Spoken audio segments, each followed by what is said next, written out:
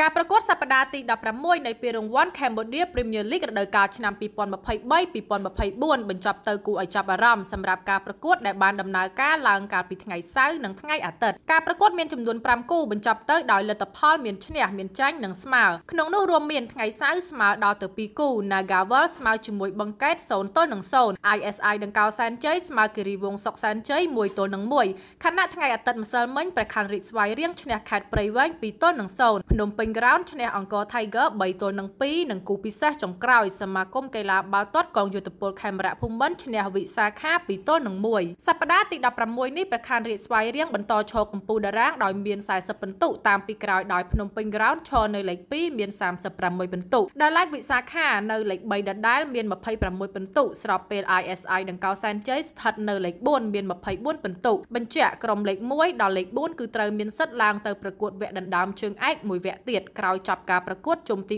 3ឬក្រោយការប្រកួតសប្តាហ៍ទី